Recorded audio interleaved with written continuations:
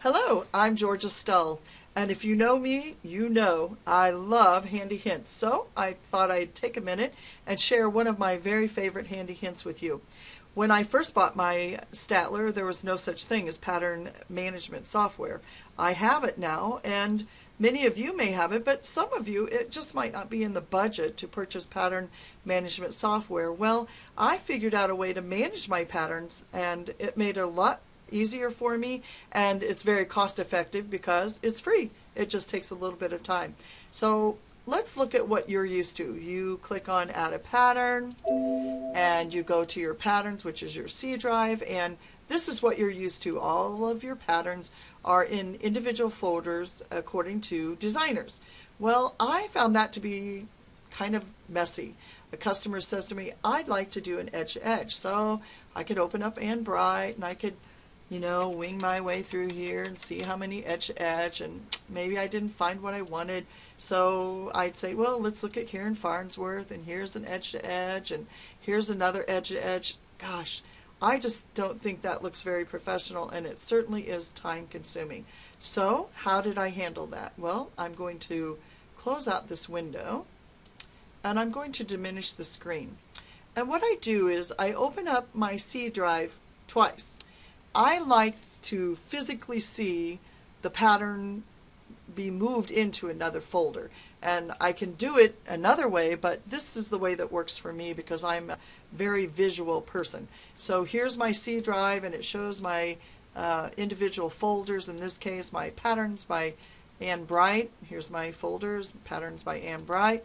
And over here, what I have is the way I set my patterns up into some new folders my folders would say patterns and then the word would be AA and I put AA there because I want the patterns to go to the top of the row. It'll be on top of my designer folders. And then I would put categories. So it might be block specific. That means double wedding ring, log cabin. It might be border patterns or quilt of valor patterns.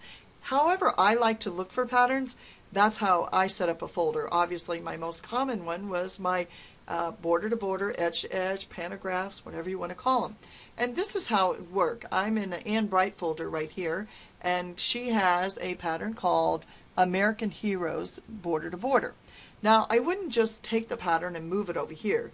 I don't want that to happen because now I don't have it over here. So let's bring it back. Instead, what I would do is I would right click and copy that pattern and come over here, right click and paste the pattern.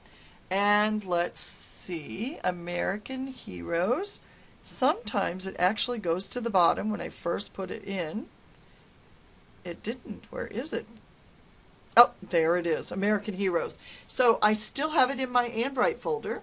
Now I have it also in my patterns that are edge to edge, border to border, whatever you want to call that.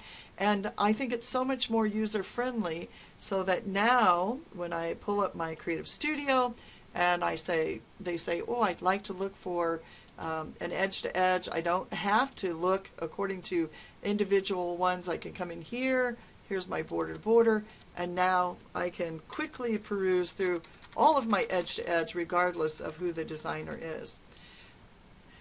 I'm Georgia Stull. I hope you've enjoyed this handy hint and I just want to take a minute and let you know that you can find out more about my teaching at www.heartlandquiltworks.net or come to my Facebook page. Just go to Facebook and look up Heartland Quiltworks. I teach in small groups to large groups. I teach one-on-one and I teach in my studio or yours. I'm a beta tester and a creative studio trainer, and I look forward to hearing from you. Thank you so much.